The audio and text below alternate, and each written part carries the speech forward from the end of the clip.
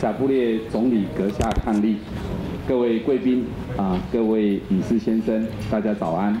首先，本人仅代表中华民国政府以及我们全体国人，热烈的欢迎圣多美普林西比民主共和国总理贾布列阁下抗立率团来访华。我们知道，啊，圣多美普林西比是在一九七五年的七月独立的。那么，在一九九七年呢，五月份与我们中华民国建立的外交关系。从那个时候开始，双方的关系就十分的良好。我们推动各项合作计划来强化双边的关系。这十多年来，我们中华民国政府在协助圣国改善基础设施、卫生、教育、农业技术、资讯科技以及提升人力资源等方面。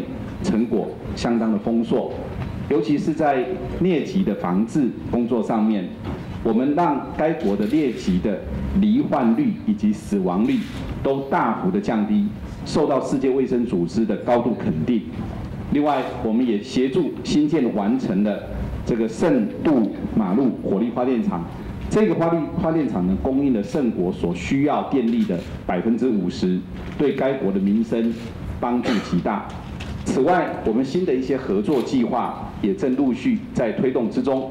同时，我们也导入新的资源，譬如说，我们的台北医学大学现在正在规划一个台湾医疗与公共卫生中心。这个例子呢，在执行之后，可以进一步的大幅提升圣国的医疗水准。圣国向来是我中华民国坚定的友邦。